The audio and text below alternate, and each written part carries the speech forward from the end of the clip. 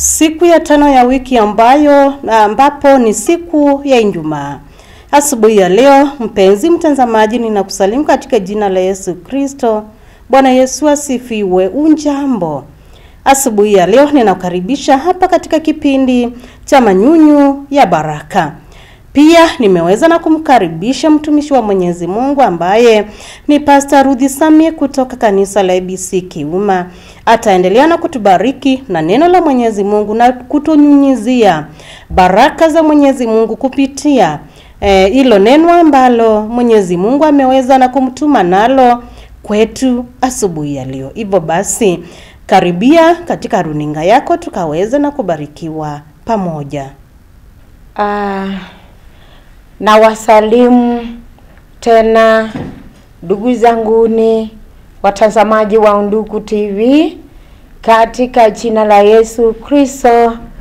Hamjambo, wawaletea ujumbe kupitia hiki kipindi cha Manyunyu ya Baraka, na natumai tutaandamana pamoja hadi tamati na ninaenda kulisoma neno la Mungu ambayo nakukaribisha kwayo, ambayo ni neno la manufaa kwetu, ni neno ambalo linatutia nguvu, ni neno ambalo tunapaswa kulipenda, manake inatutia a, moyo tunapokuwa hatujiwezi. Basi hayo maandiko tunayapata katika kitabu cha Matendo ya Mitume sura ni ya kumi na mbili tenda kuanzia mstari wa uh, kwanza na nitasoma mistari michache hapo chini, tutaandamana uh, pamoja nikisoma. Uh, panapo majira yale yale Herode mfalme akanyosha mikono yake akawatenda mabaya baadhi ya watu wa kanisa, hakamua Yakobo ndugu yake Yohana kwa upanga, na akiona ya kuwa imewapendeza Wayahudi, akaendelea akamshika na Petro. Siku hizo uh, siku za mkate isiyo uh, chachwa. Alipokwisha kumkamata akamweka ngerezani akamtia uh, mikononi mwa vikosi vine vya askari wane wane uh, wamlinde, akitaka baada ya Pasaka kumtoa na kumweka mbele ya watu. Mstari wa tano. Basi Petro akalindwa ngerezani nalo kanisa likamwomba Mungu kwa juhudi kwa ajili yake. Nasoma mstari wa saba.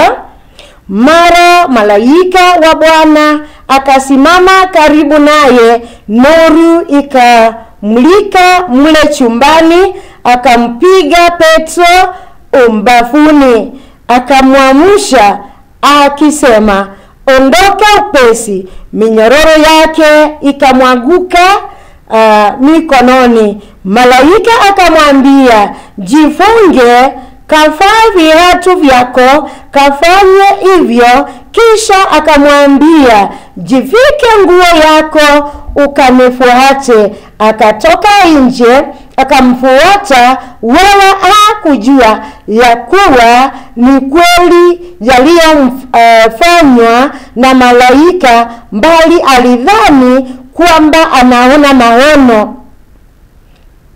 Uh, nasoma tena mstari wa kumi. Na walipopita lindo la kwanza na la pili, wakaja hata mlango wa chuma wa kuingilia mjini, ukawafungukia wenyewe. Wakatoka nje, wakapita katika njia moja, mara malaika akamwacha. Mstari wa kumi na moja.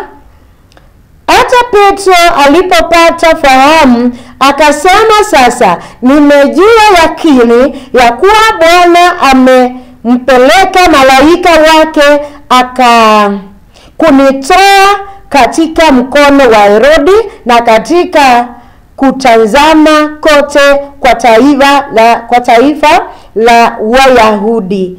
Ha, tuombe. Ewe Mwenyezi Mungu, Baba yetu uishiaye milele, tunasema ni asante, ni kwa ajili ya wakati huu, wakati wa neno lako, na wakati ule watazamaji wanatazama katika luninga ya Undugu TV wakiwa area mbalimbali, falme na wakabidhi mikononi mwako, wawezeshe kusikia neno na neno likawe la manufaa kwao, liwasaidie wasio wakafuisa, na endapo watafuisa hatuwahesabii makosa, lakini siku moja watakuja kuitikia na kulipokea neno na wataokoka. Nitumie kama mtumishi wako, watumie pia watazamaji, katika jina la Yesu Kristo tunaomba na pia kuamini, amen. Ah, lengo letu la siku ya leo yenye tutasemesana wa leo ni kuangalia na kuona uwezo wa maombi, yaani tunapoomba kwa imani, tunapoomba tukitumaini Mungu, tunapoomba tukitarajia kutoka kwa Mungu, yule Mungu tunayenena naye, kwa maana maombi ni kusemesana na Mungu wetu ataweza kutenda. Kwa hivyo tuangalie uwezo wa maombi, na tunapoangalia tunaenda kumuona mtumishi wa Mungu ambaye alikuwa ni Petro. Petro aliweza kusaidia wengi, na Petro ni mtu wa kwanza kuchukua lile neno kulingana na vile tusamavyo katika Matendo ya Mitume uh, ile sura ya pili.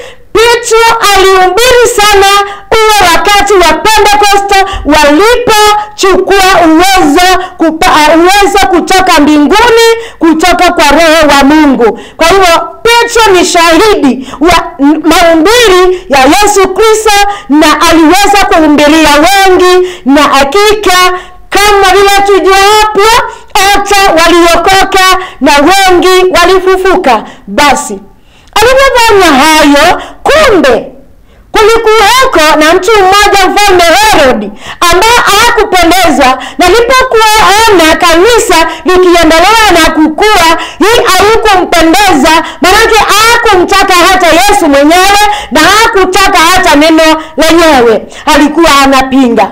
Basi aliposikia vile Petro anaendelea na neno la Mungu uh, na vile kanisa linakuwa, akaamua sasa kupigana na kanisa, na akujua kupigana na kanisa na kupigana na Mungu, na kanisa ni lake Mungu, na hakika ni Mungu ambaye ana uwezo. Basi alichukua fursa hiyo ya kutaka kuua mitume wa Yesu Kristo, na kama vile tumesoma katika mstari wa kwanza, alipendezwa sana alipomchukua huyu Yakobo na akamuua. Hiyo ilimfurahisha sana, na alipoona pia Wayahudi wamefurahia na wakapendezwa na vile Yakobo ambaye alikuwa pia anahubiri ile anahubiri hiyo neno hakika na amekufa kwa upanga, wakafurahia. Na akaamka tena akasema atafuata kinara wao ambaye alikuwa Petro. Pia yeye akatumana yashikwe na akashikwa na akawekwa gerezani na akawekewa walinzi. Basi alipokuwa pale gerezani, hii neno la Mungu ni neno ambalo linashangaza. Wakati ule huyu Herod alikuwa amejipanga baada ya sikukuu ya pasaka kuisha na alikuwa amejipanga sasa amtoe petro ampeleke mbele ya watu ndiposa aweze kumhukumu pale. Kumbe mungu wetu huyo anaona na huyo anajua chochote kile kinaendelea akamtazama akamwona herod bila anapangia mtumishi wake petro na alikuwa anajua atamtumia petro mara nyingi sana na akutaka petro aweze kufa. Ingawaji aliruhusu yakobo aweze kufa Aa, alikuwa na sababu yake lakini ule usiku herodi alikuwa amepanga amtoe usiku hiyo hiyo tu naye mungu akachuma malaika wake akashuka kutoka mbinguni. Akaingia katika kile chumba petro alikuwa amefungiwa na alipokuwa amelala Biblia inasema akanyosha mkono wake akampiga kiasi kwa mbabu zake. Na hapo petro akasinduka kutoka kwa usingizi na aliposinduka kweli akaamka. Na bibilia inatuambia ya kwamba alipoamka malaika wa mungu alimwambia haya basi amka faa viatu faa manguo na unifuate Ili ndivyo petro aliweza kutoka gerezani.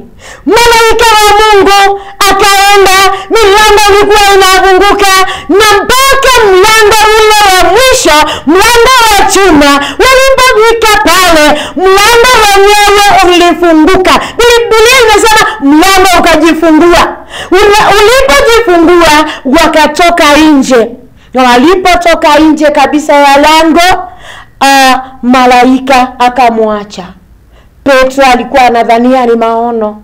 Kumbe hatimaye akaona ni malaika wa mungu ametumwa akuje kumtoa mikononi mwa herodi. Nduku mpenzi mtazamaji mpendwa wa mungu mungu anakujali mungu anakupenda. Ikiwa mungu anaweza kuja kutoa petro mtu kama huyu akiwa amepingwa hata kupigwa kwenye amepigwa na malaika pingu zilizokuwa katika mikono bibilia imesema zilichoka zikaanguka na akaamka na akatembea. Aliyekuwa amefungwa akika akafunguliwa na uwezo kutoka juu mbinguni. Na kuambiaje mpenda mtazamaji ya kwamba yesu kristo anatujua anatujali utakapokuwa katika hiyo shida hata iko ikiwa hatari namna gani mungu atatuma mtumwa wake.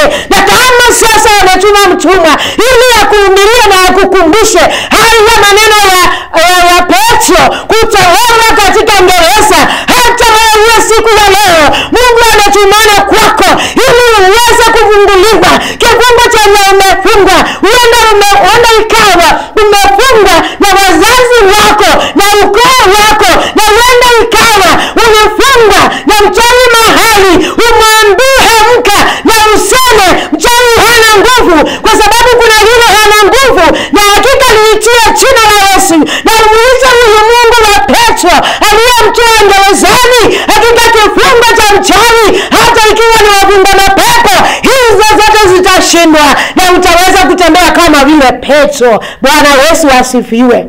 Hilo ni neno la mungu nikutia nguvu. Na utazame ni wakina nani? Wanaokuzuia usio kaenda mbele. Hakika simama kwa ajili ya yesu simama kwa ajili ya huyo mungu na ujitie nguvu na ujue anakuona na anakuona saa hii.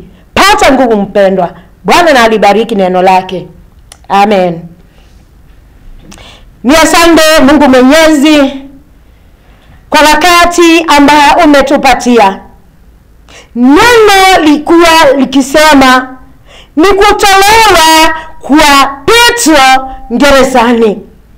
Hakuna mtu yeyote aliweza kumtenganisha na mauti yale yalikuwa yamepangwa na herodi lakini wewe mungu mwenyewe ukawatenda hayo kwa kutuma malaika wako. Mungu baba tazama mtazamaji huenda ikawa yuko pale na angali anajililia kwa sababu amefungwa. Haendelei mbele na kazi yake. Amefungwa. Maanake amepewa na kurushiwa magonjwa na magonjwa yanamsumbua. Katika jina la yesu kristo huyu mungu ambaye alitumana huyu yesu ambaye ametumana na atumane kwake hakika malaika ameachiliwa kwako mpokee malaika na uache huru na utembee ukiwa umefunguliwa. Na vifungo na jua ni za aina mbalimbali. He yesu kristo shuka kwa ajili ya mtazamaji shuka kwa ajili ya uh, msikilizaji shuka na utende wema wako na hakika hatimaye tuweze kusema ni asante. Katika jina la yesu kristo tunaomba na pia kuamini.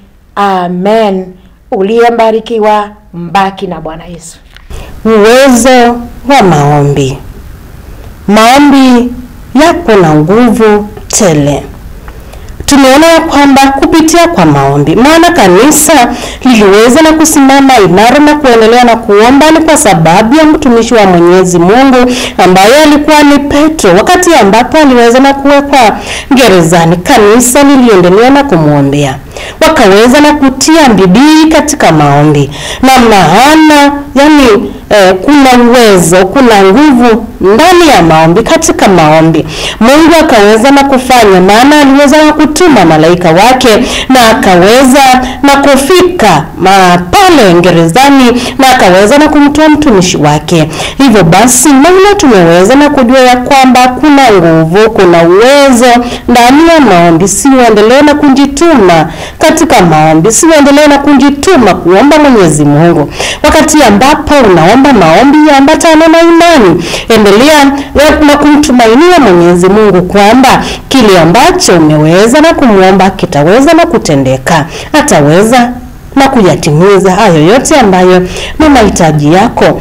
Ninakutakia siku njema, na kwa ndugu zetu ambao ninajua kwamba ni siku yenu ya kuenda katika nyumba za ibada kuabudu Mwenyezi Mungu, ninawatakia ibada njema, ibada ya baraka. Mungu wa pamoja nanyi na Mungu wafikie na kwa kwako wewe mahali popote pale utashinda ukiwa. Mwenyezi Mungu akutangulie na baraka zake ziandamane pamoja nawe. Shalom.